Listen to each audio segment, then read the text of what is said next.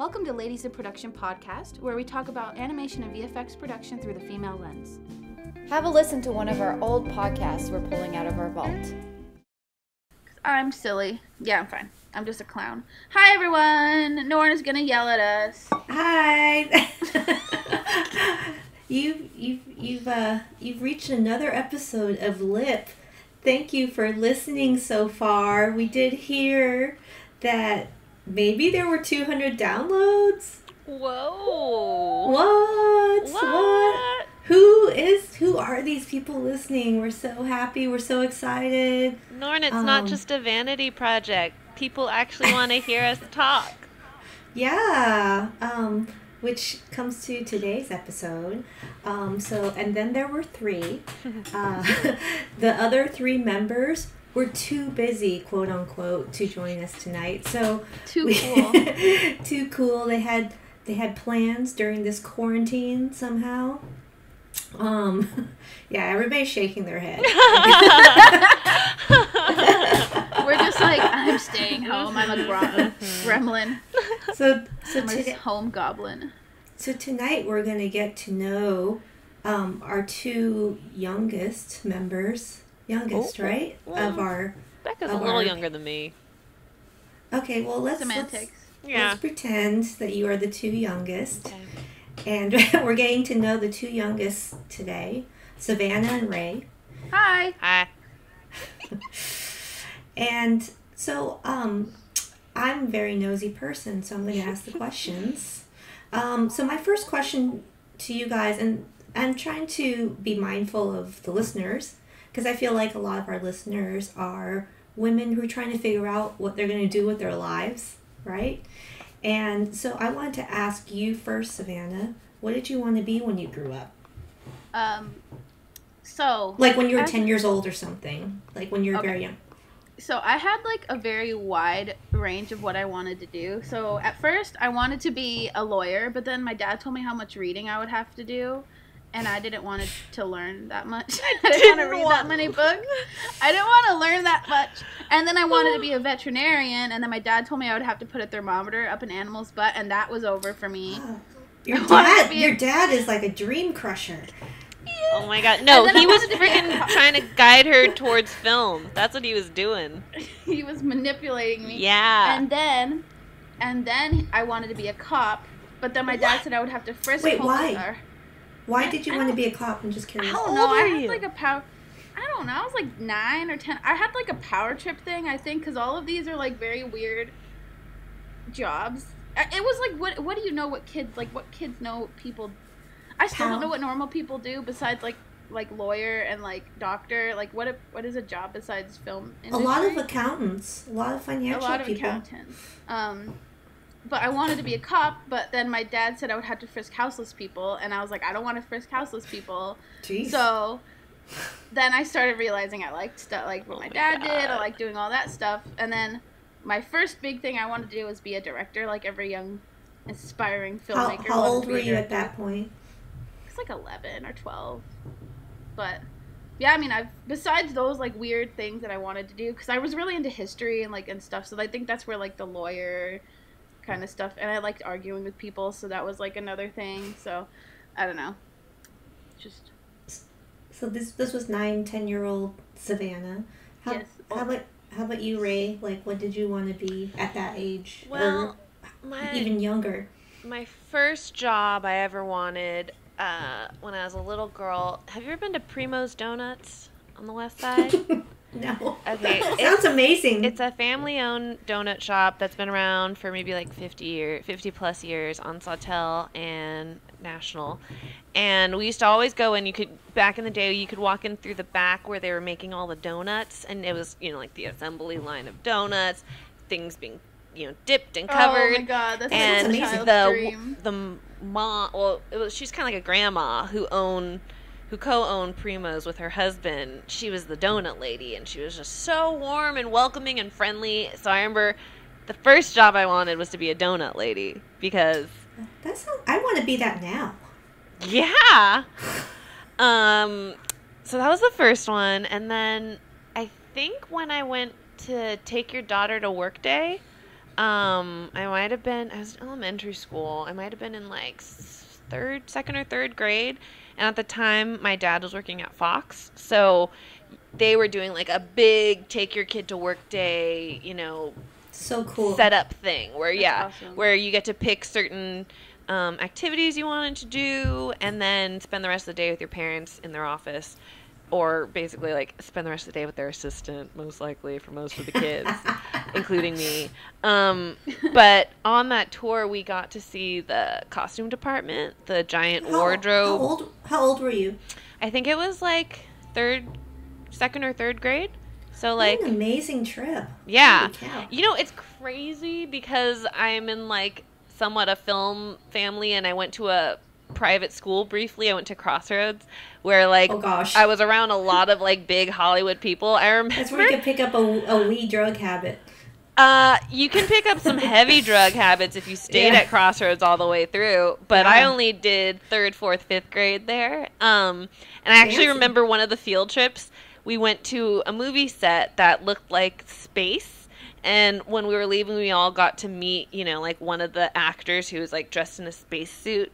And then I found out later it was Bruce Willis, and I think it was like Armageddon, cool. maybe, or one of those. Oh, wow. You went you went to on a Mike Bay set when you were a kid? I went to a Michael Bay premiere when I was a teenager. Remember that movie The Wow. Island that came out? It was like yeah, that weird. Scarlett Johansson. Yeah, so they had a premiere, an LA, a tiny LA premiere in Westwood, and since my dad worked on it, he was like, uh, "Do you and a friend Oh, want to come and see this?" So we just like went in our freaking Hollister tank tops, not realizing it was a premiere. We thought it was a screening, and I remember my dad was like, "Okay, we should leave now before the crowd leaves." So we left like you know, a little early and we bumped into this man and I remember he was wearing kind of like a baggy white suit and my dad was like, "Oh wait, hey, um, Rae, uh, I want you I want you to meet the the director of the movie."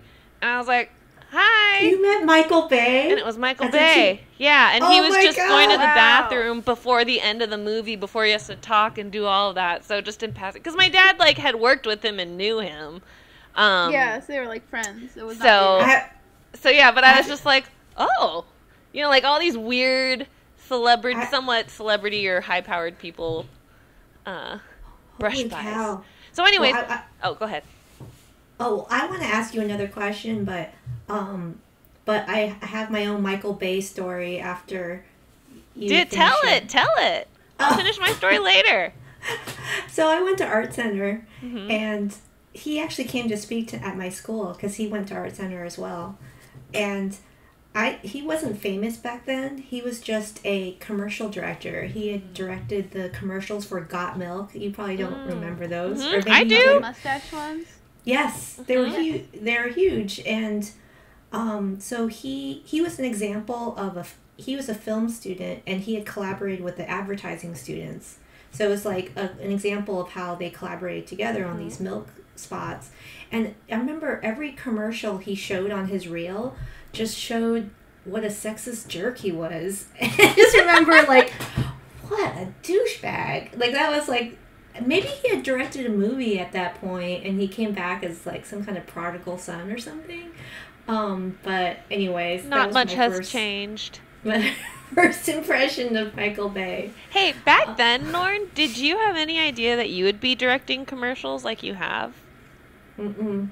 No, because like, no clue did you have any interest when you were like talking to or listening to Yeah. him and watching? But you just were kind of like, that's not I- gonna be me, or what? i i thought i was such an introvert that it was never going to happen for me. And um but i w- definitely wanted to be a director. Um i was such a huge movie nerd. I still am. And um you know back then it was kind of the rise of indie films. Um and so i just loved you know quentin tarantino you know like steven Mhm, yeah. soderbergh like all those big and it was just you know really exciting time for filmmaking Mm-hmm. but I just thought, you know, it's never going to happen for me because I could never tell anybody what to do. Oh my And- god! No. And look at me now. I all know.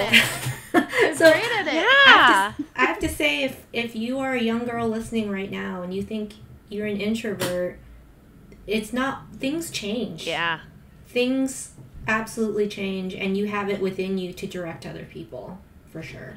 Well, it's All- also like you don't need to not be. You don't need to be an extrovert to do those jobs. Like so many of in animation, a Mhm. lot of people are. I say, I would say most people in animation are some sort of introvert or omnivert. But I feel like it, in every girl listening out there is a boss. Yes. Yes. Absolutely. All of you are bosses. Um, you might feel like an introvert now, but things will change as your confidence grows, as you get good at your craft. And you stop giving a fuck. Exactly. Wait, so Um, but Savanna, weren't you like Little Miss Director with your friends, be, like making movies when you were? Was it comedy? Oh yeah. I love, I, I love comedy. It's like my favorite thing. That's why. You, I love it too. Savanna, can we do a sketch one day? and I did improv. Oh yeah, I would love- do that. I yeah. would love to Oh do my that. God. I really need to figure out how to get my DV tapes of like what I did when I was a kid you should. on like digital because they're they're so so bad. So so bad. But like I was like so It's I'm learning. I, am an introvert, but like when I'm with people that I'm comfortable with, I don't shut up, so you can't like get rid of me. Um, so with my friends, I was totally fine. But if you put me like in a classroom, like I'm not gonna say shit unless I know people. so that's Um, how you were able to be a director while you were an introvert while you were younger.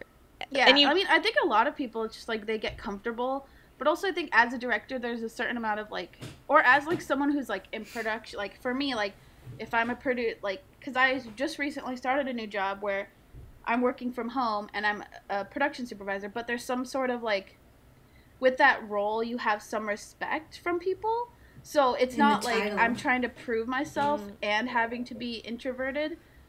It's like I have to I have to fake that I'm extroverted and fake Mm. that I'm social, but I don't have to worry about needing to prove myself because I know that I'm good at my job. You already have the ti- you already have the title. yeah, I have the title. Mhm. I I'm new. Nobody knows me. They don't know if, what I've messed up uh, when I was figuring my like stuff out. Like They didn't all you those was like a PA PA. coordinator mistakes are gone because nobody knows you, and you start fresh, and you have like this title, and because your new people are like kind of intrigued by you and like kind of want to read like know what you're doing and stuff. So I use that for my advantage right now. Well, that, Mhm. that's that's the other thing. Like young listeners listening out there, there's this thing called "fake it till you make it." I think we should say all listeners because All listeners, everyone okay. can can Every- gain from this. You're right. You're right. Um, and I definitely faked being a boss for a long, long time. Mm-hmm. And for me, it was faking being an extrovert, and then somehow I became an extrovert. It's this weird thing that happens over time. You don't think you're going to change, and then you do. It's it's weird. It's kind of like when Um, you're pretending to sleep and then you actually fall asleep. you know, you're just like it just happens, and then it just kind of you know eases into that. But well, um, the other the other thing I wanted to ask Oh. you two. can I finish? Sure, sure, sure. Sorry. Before So- we move on to the next question. Okay, so um, so I went to this great take your daughter to work day, and I wanted to do costume design. Like I thought, like, oh, I want to be a costume designer. And my my dad, like. Savanna's, was like, costume design. Just so you know, it is more competitive than fashion because there are fewer people who are doing it I didn't know at the highest level. Yeah, like if you think about it, like costume designers It for film, sense. hmm there's like far fewer of them than fashion designers, You and gotta be good. You gotta be you have to really, be really, really amazing. Yeah, and you know it's kind of like I feel like one of those where it to me I was like, you know, I don't want to hate clothes by making it work. You know, like I feel Yeah. like that's kind of also why I'm just like never really been a person who wanted to draw or use any of my art for work because I was always like I feel like it'll just kill the fun of it for me and I Mm-hmm. don't think I have the confidence yet or at all for that stuff. That's like my personal whatever. Yeah, I don't know how artists take criticism because I can't take any You have criticism. to have a really thick skin. You gotta. My skin is made of paper. I know all of us wet. are. All of us like. I have to tell you, as an artist, you get your heart broken every day. Mm-hmm. Does that sound terrible? Yeah, and it's horrible, and I feel bad. I couldn't and that's do why it. I don't like It's reviews true. because it's Yeah. horrible. You It's just see the light slowly fading from well, people's eyes. I feel like somebody told. I was like, "How do you deal with this?" Somebody told me that they were dead inside, and that's how they Oh, dealt with it. And I was like, "I can't be dead inside because I have to be passionate to and- do and the back work. up. Yeah. to do the work. Like I, I mean, I'll, I can try to not care, but it's hard to not care. Although people say you are not your work. Hmm Yeah, so your it's like it's, is if it's a You criticism your of your work, it's not a criticism of you.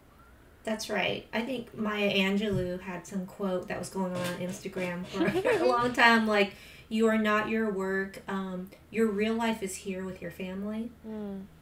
That's what my Um, dad used to always say about like he'd he'd say when he came home he felt like that was real life and work was like just the your rest of the day. You know? Yeah, they're best parents. They're pretty Um, great. so, so you want to be a costume designer? Ye- Anything else?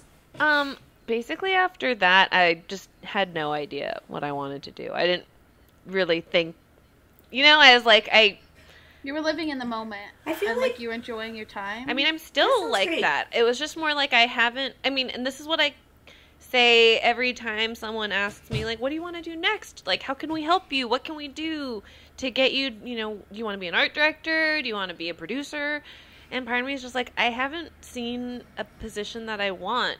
Like, maybe it's not in film production. That was something I was thinking when I met all of you guys. Like, maybe there's like a different role for me at like a at a um, a company rather than doing being a freelancer. Like maybe there is like Yeah. a higher position that you know I can grow with somewhere else, but I just haven't Yeah. seen it yet.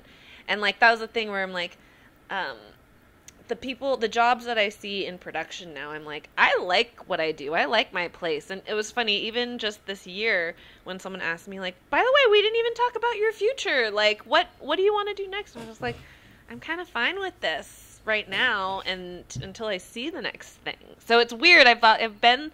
It's weird. I'm like a very driven, academic, high achieving person, but I've kind of been without, you know, a goal of what I want to do or pursue. You know, like you, I remember meeting Savanna, or I just kind of felt like talking to you. You seemed like you knew you wanted to be a producer, like just around the lunch table. Yeah. Like you kind of knew that was your goal. That's what you're working towards.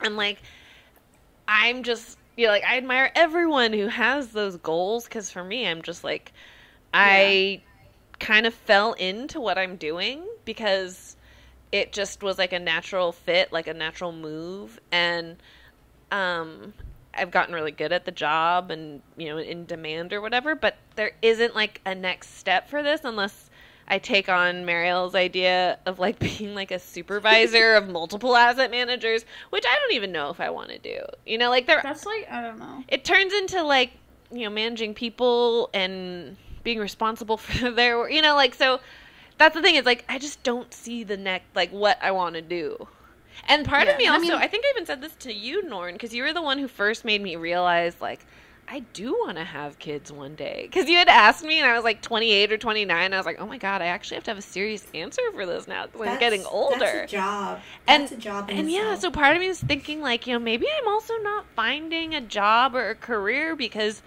I really want to be a mom, a stay-at-home mom or Yeah. part-time mom, like work part-time and be able to be a parent and put my focus on on that part which of my is life. the nicest job you will ever have.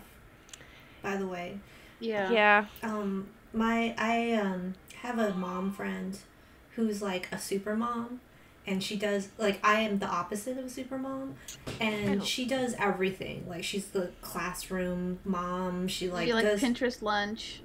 yeah everything like and i'm like the opposite right? And but she takes so much joy in what she does. I mean she needs she needs time off and all that stuff but it, it is a job. It's a really um it's a Long lovely it- commitment job. I mean, it's that's a lovely job. that's something I've thought about too, like especially early in my career when I was kind of like uh, the babysitter of the department, or you know, like taking care of all of the artists' needs. You know, getting making sure their food is right, making sure this and that.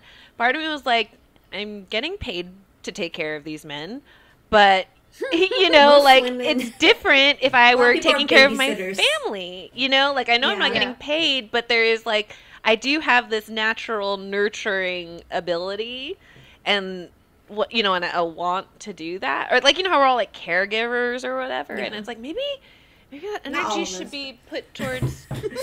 uh, maybe that energy should be put towards you know people I want to be around instead of people I'm being paid People to be around. paid to be around. I feel like that's why women make such. I mean, I hate to generalize, but why women make good producers because they're used to babysitting and And you have the touch of empathy Mhm. that Yeah. and caring that people crave in times of crisis, which comes up way too often in Mm. projects. Mhm. Totally.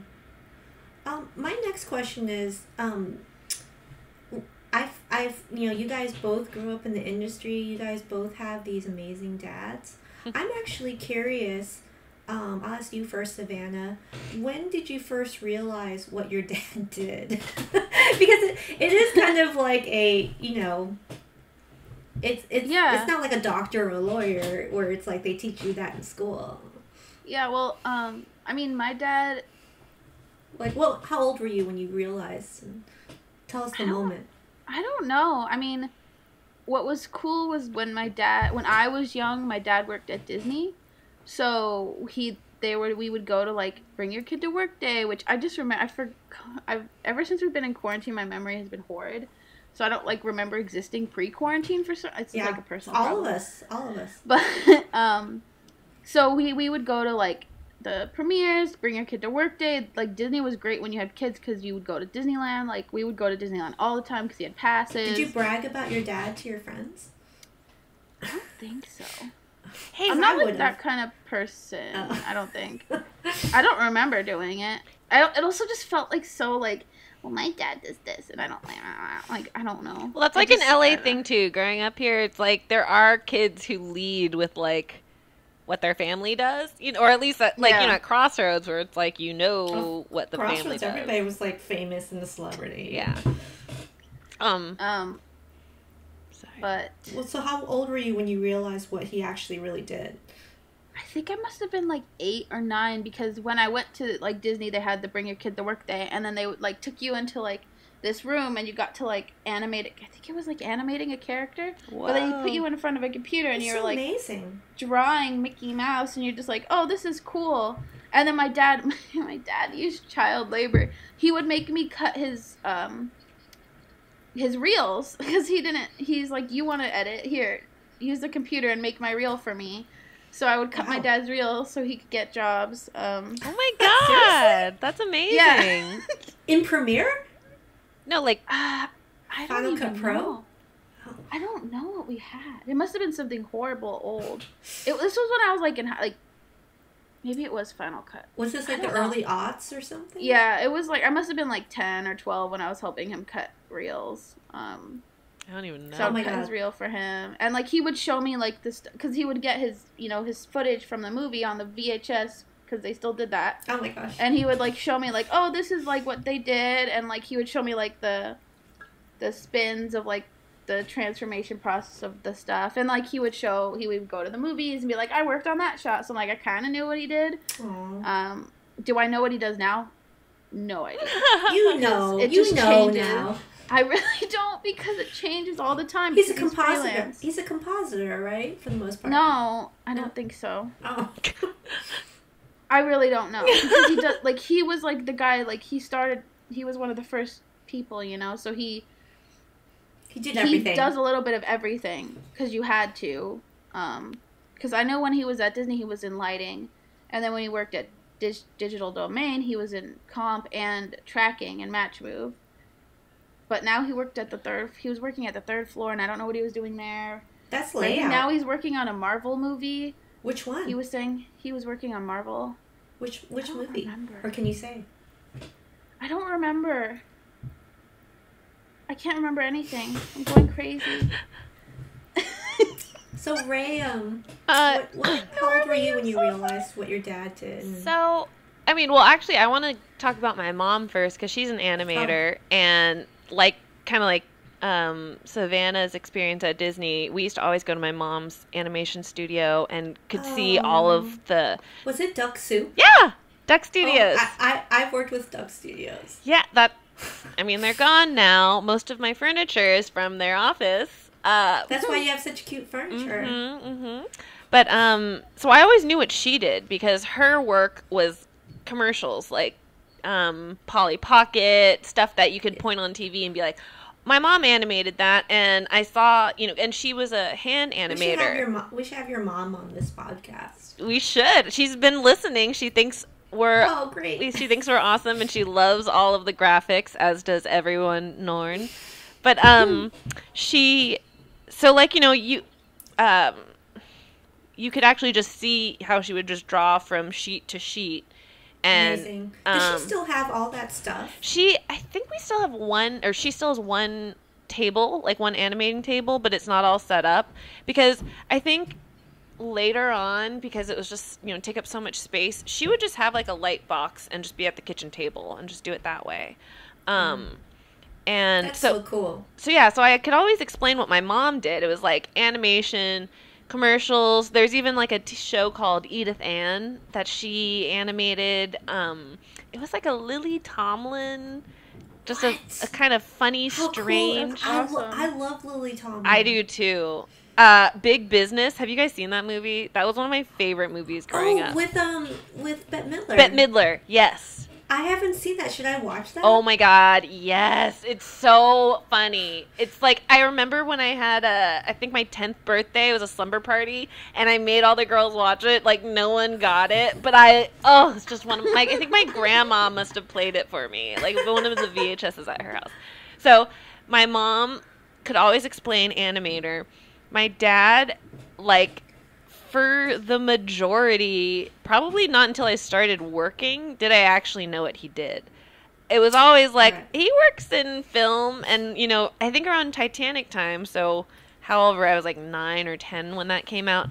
That would be like, oh yeah, my dad like works with the people that erases the the lines, uh, like that erases the ropes that are uh, on the people falling off the deck. You know, like that's how you could explain. That's how you explain. Yeah. Like my dad does that. You know, and before that, he did. He worked in titles. He worked at Pacific Title. What? And I I Uh-oh. wanted to do that. Titles? Oh, can you hear me? You're kind Yeah, of slowing and glitching. Okay, you're good. Pacific Title is a historic, you know. Aren't they gone now too?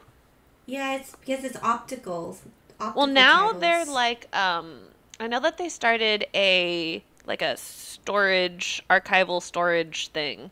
But um I, I didn't know he was entitled. yeah, he sta- he you- did I'll huh? bet you he knew my teacher, Wayne. Can you ask him if he knows Wayne Fitzgerald? Sure. He probably does. Wayne. Because he, because he was like the the main title designer in this I don't know seventies eighties, but he was my instructor at school. I think my dad was there like 80s, 90s before I bet you he, he started working. Wayne Fitzgerald. Probably. Um so so yeah, like at first I could describe like oh yeah, like it's the titles that that's what he does. Um even though he's not designing it, he's like, you know, like the Was he- producer basically. Was he the? Oh, he wasn't like the engineer. Or he was. The no, he was like he was always been like the post supervisor, VFX supervisor. supervisor. kind of a thing. You know, like one of those vague kind of I don't like kind of like charge. Savanna, like keeps everything in moving. charge of everything. Yeah. like he even told me back in the Titanic days, he they would tape reviews, um, like they'd video record reviews, um, with like the with a vendor, and then someone would drive that over to Jim Cameron's house to watch it. To like, and then some, and then he'd record his feedback, and that would get trans Oh like God. driven back. And it's like Oh my my dad was like, you know, kind of coordinating those things in the community, like knowing all of the heads of the vendors and stuff. And it's really cool because Yeah. I actually got to work with one of the guys my dad worked with on like Terminator 2, I think. Oh, And- the best Terminator, right? T- Terminator 1 or T2, they're both good. Um, the first Doesn't two. everybody say T two is the best? People love T2, yeah. Um, but anyways, uh, so for a while it was just like, yeah, he does like kind of visual effects, kind of post whatever that means, and then it wasn't He's a- until and so you just post- say, that. he's a post VFX supervisor. yeah, right? But he used to his title. You'll love this, Norn. He used to make his title post effects guy, P E G, and my mom's name is Peggy. Oh no. So he did it like a little homage to her. But that's, also so why. none of us knew what he did. We were like, he's a post effects guy. He's Uh, a peg. He's a He's peg. a peg. no, you don't. I'm not gonna say Don't that. say that. I'm Don't not gonna say that, Norn. By the way, that's a very sexual term. I, I only learned about that For all the children's listening, like in the last year about it. Broad City. Is that? but um. So yeah, and, Don't and look then it up. like, Don't look it up. don't look it up. Look you don't it up. know. Don't look it up. Ah!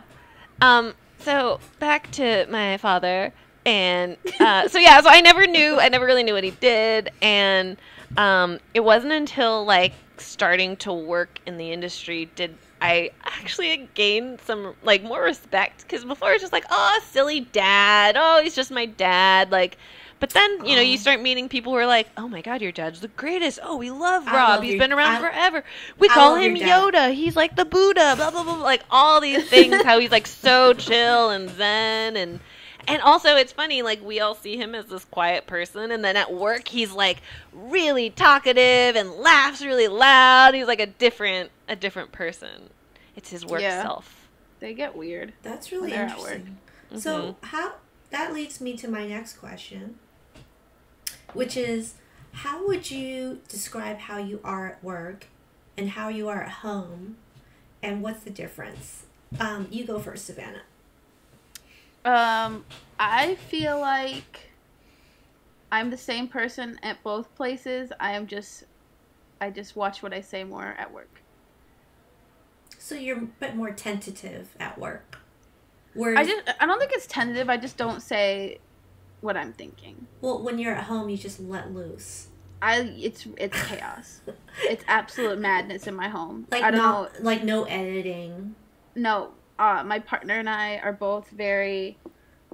We don't have a filter with each other. Which is why Um, you work.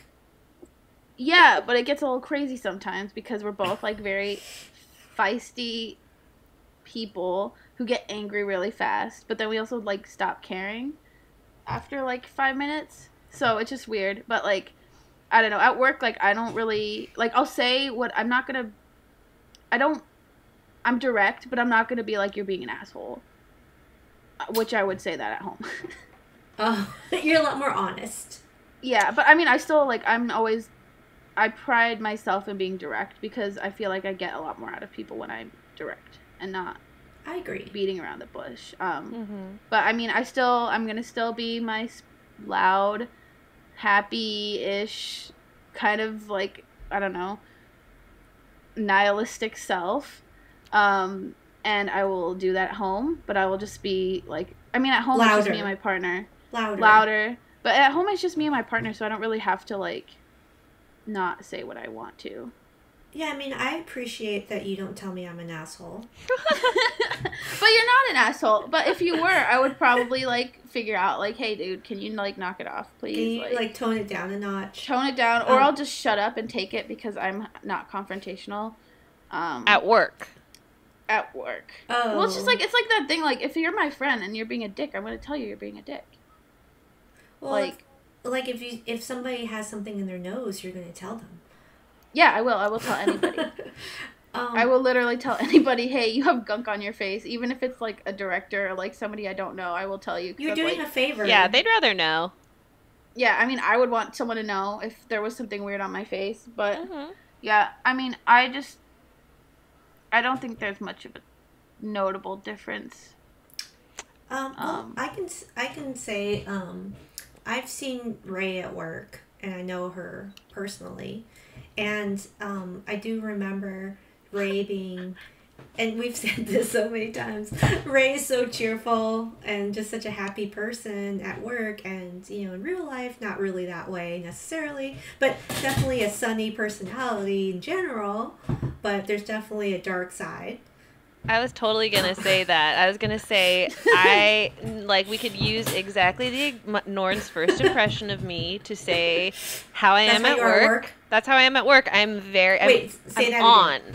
Oh, uh, that's how I am how, at work. How how, how cheerful are you? Yeah, so basically when I'm at work, I am like on. Like it's like I am a hundred percent there. I I have like try to have a response, a funny response to everything, trying to keep things light for the whole department, but also like being very sociable, you know, like just Helpful. helpful, like yeah, offering to help people do things, just being kind of like very active, I guess, and very like um welcome wagon kind of like and it's just so Yeah. funny cuz this is I mean, it's also what I do when I'm new somewhere, like trying to like somewhat get the feel of the place is like I'd rather be friendly and like bubbly and whatever. And I it actually, I, I feel like it's exhausting for you. Is Yeah. that my impression? Well, Is it just correct impression? depends, you know? Like, it depends on the people I'm around. Where it's like, if I like the people, then it's easy to be like that. You know, I want to be Yeah. like that. My mom, even, because, like, you know, just like you said, like, my dark, grumpy side, like, that's Yeah, what usually, like, it. You've seen it, my family sees it. Your Nathan's mom seen sees it a it little most. My mom sees it the most, definitely. Yeah. Mm-hmm. And she had kind of asked me, like, are you like this with your friends? Are you like this at work? And I'm like, no, honestly, like I I'm so controlled and so like you know, I I don't really let any well, okay, unless it's like a big like I just can't deal with this anymore. I just tried like to for the most part not to let any anything bring me down while I'm Well, there. I feel like I'm people, kind people take their moms for granted too. Um, I mean, not that. I mean, you probably do a little bit. Yeah. But I mean, to me, it's like you kind of, you feel like you're able to show your real self because you trust her so much, yeah. Um right? Yeah. Totally. And I think that's partly why also like at work you do kind of or at least it's like I keep this superficial level cuz I don't really know everyone and how they're going to react or how It's almost like um, a armor. I feel like for you. Yeah. Yeah. Well, I mean, and I feel like it kind of comes to like the service part of my job where like part of me feels like yeah, like it it kind of pre- kind of like It's your it- shield. Yeah. Yeah, like it makes me feel like I start on a good impression and it makes me feel like people will be more willing to help me and do things if I'm like this nice overly whatever person. Yeah. Um but I well, do you're also, remember like, new a lot, right? You're I- always well, like, like, you're we're not always You're always the new. You're always the new kid. well, there's we're it, the department is always new. Like it's always a new mixture of people every job I get. So it's always kind of that little like we're always kind of feeling each other out. Everyone's kind of like I mean some of us might know each other from a previous show, but that'll be like only one connect connection out of like 15 20 people. Yeah. So like yeah, it is like a lot of like every time you start a new job it's like all new new people, all new dynamic and um Yeah.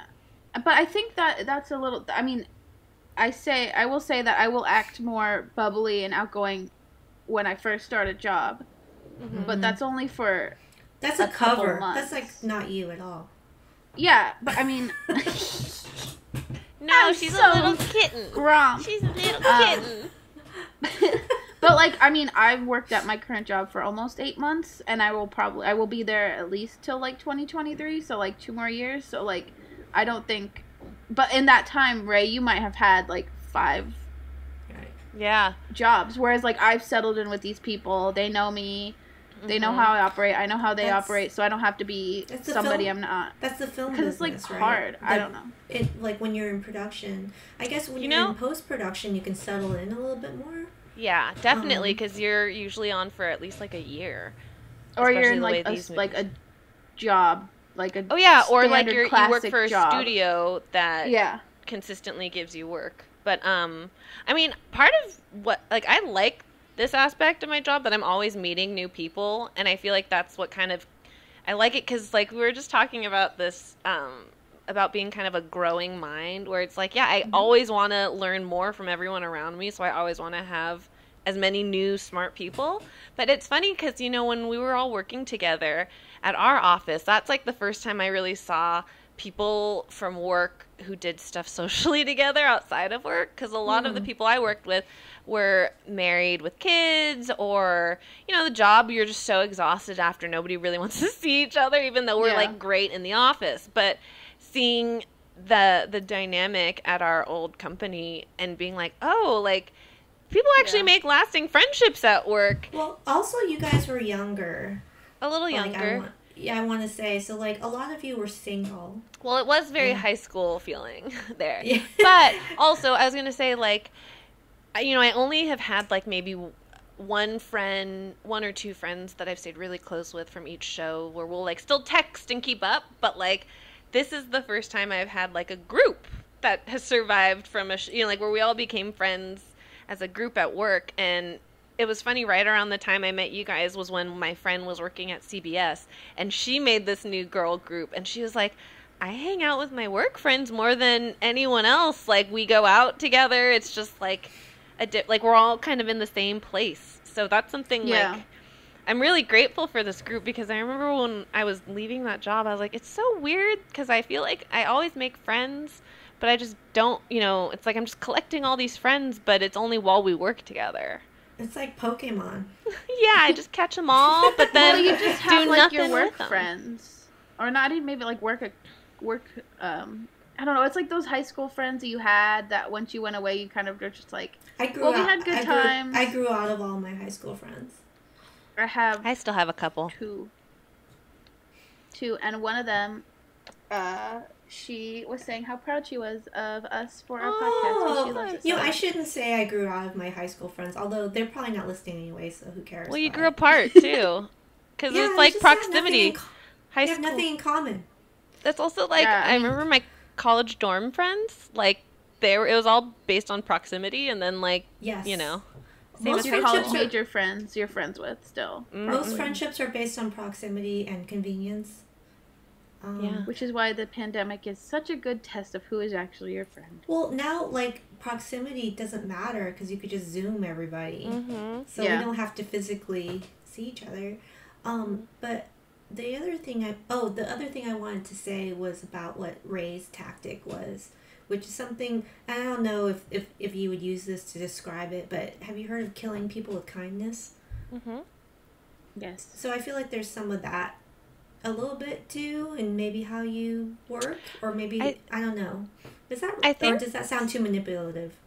Um, I mean, I guess you could say, okay, this is something I, I just learned from one of my early mentors is like, you don't have to be mean to get things done.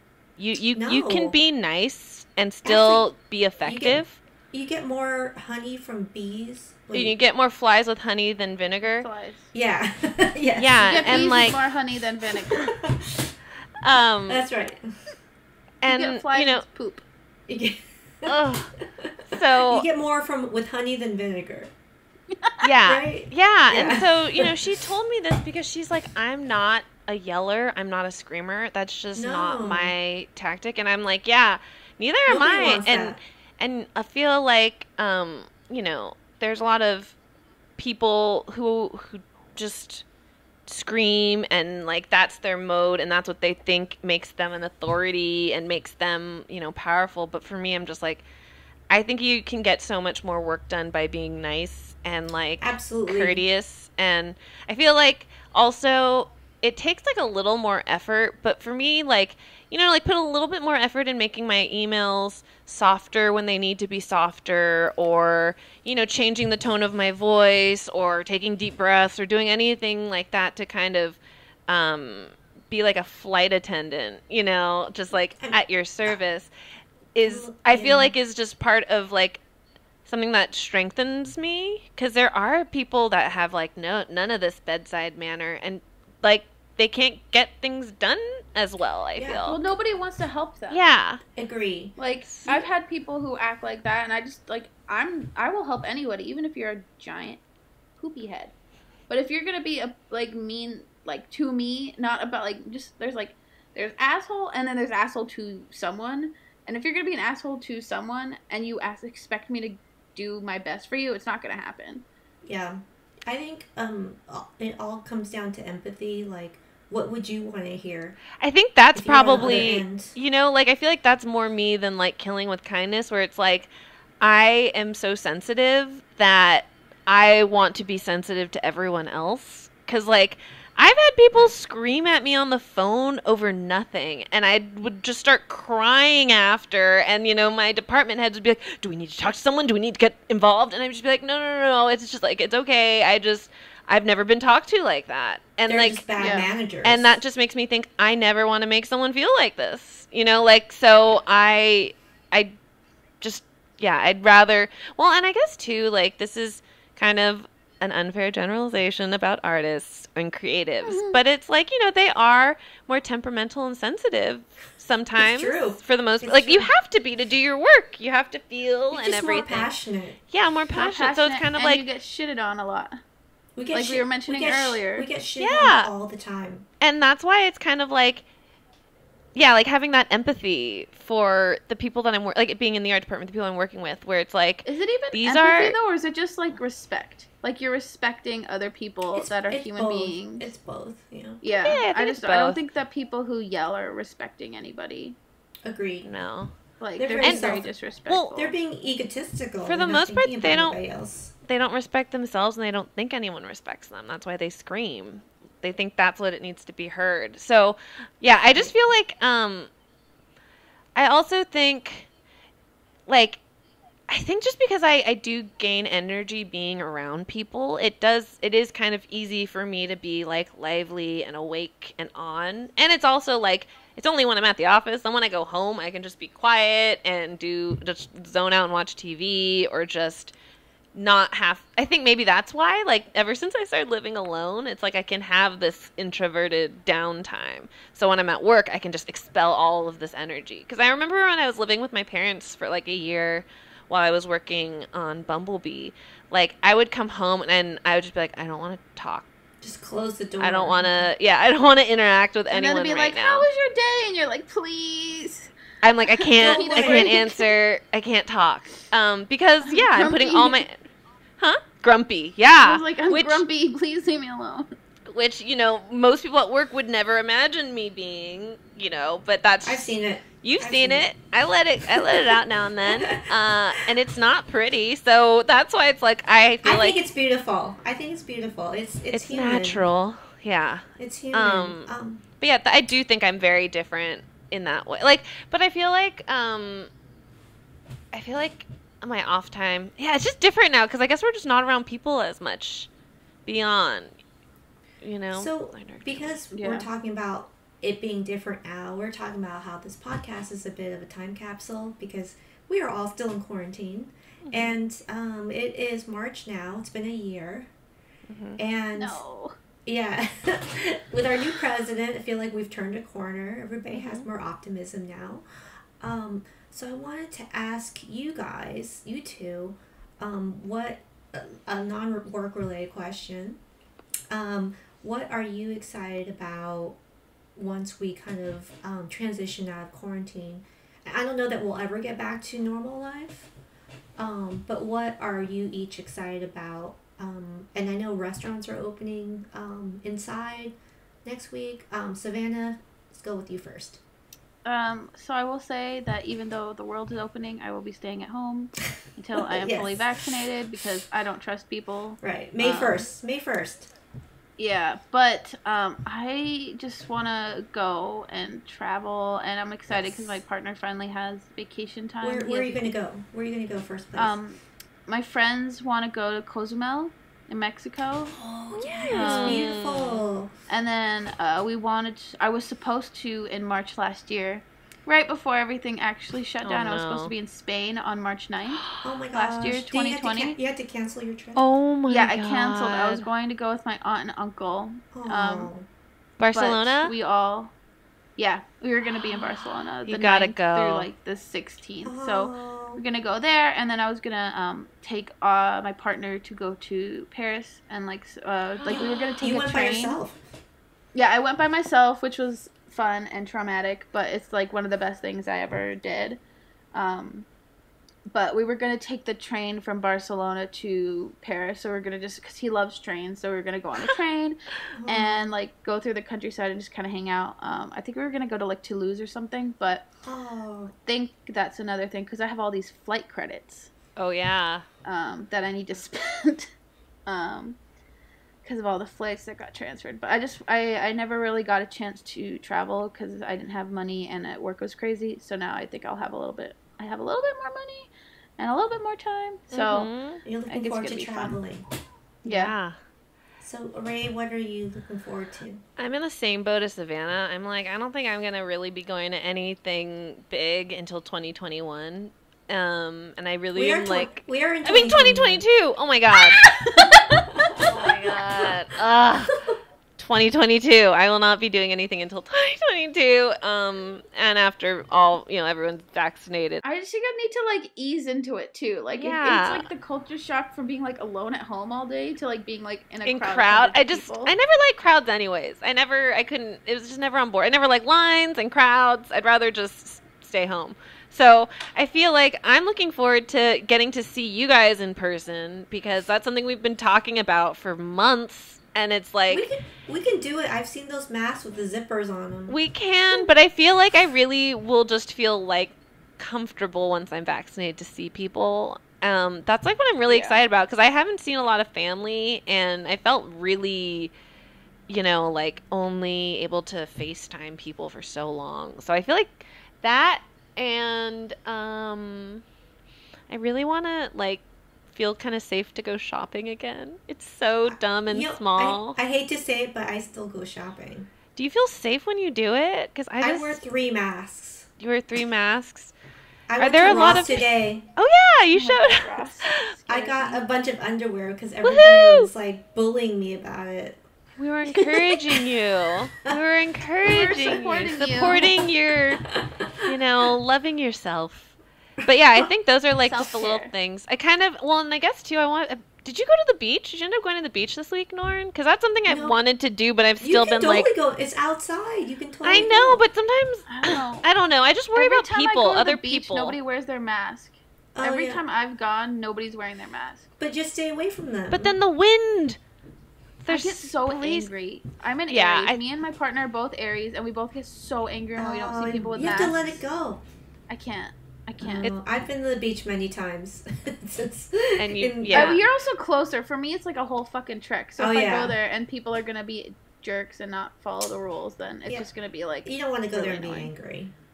I yeah. think so. Yeah, I think maybe beach and shopping and seeing friends for me because I just don't know about traveling for like at least for work for me. It's like I'm working until September maybe, and then I I should plan a trip, but I still feel like it's too soon. I don't know. Yeah, I don't Do you know. think you'll like, be traveling when by these then? trips are gonna happen. I don't know when they're gonna happen. Maybe by the end of the year. Maybe by December. I don't know. It just depends on what other. I think it depends on the like where you're going and how they're treating it. Because like I don't know, like I want to go to Mexico, but are they gonna be like vaccinated and clear? Are we even gonna be welcome like to Europe? Like are they gonna want? Yeah, us, you have right? to quar- you have to quarantine for two weeks? Oh or- yeah. Yeah, like if I have to quarantine, like I can't do that.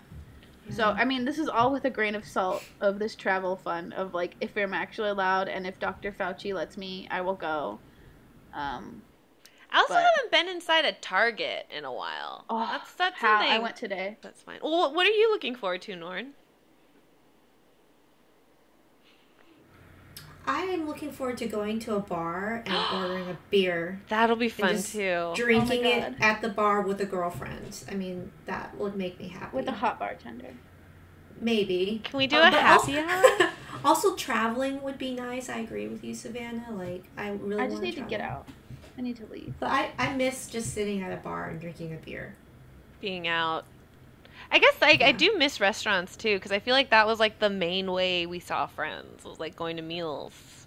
Yeah, I Uh, mine was like yeah. hookah bar. I miss the hookah bar, which is like oh. COVID crockpot right now. That we would go to all the time, and they never ID. There was literally like 15 year olds smoking. Like they were they were children, but I was. Were they on this, like, you? weird.